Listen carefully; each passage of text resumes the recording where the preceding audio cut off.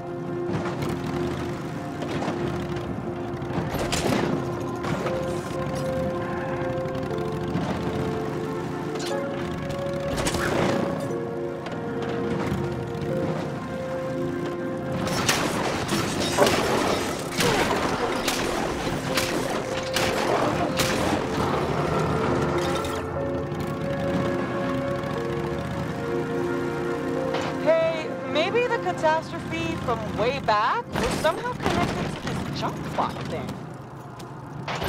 Bet it was! Aliens, I tell ya! I mean, it could be, yeah. A strong electromagnetic pulse could have scrambled the navigational tools of all the planes in Michigan airspace and brought them down here. Shut it, guys. We're close now.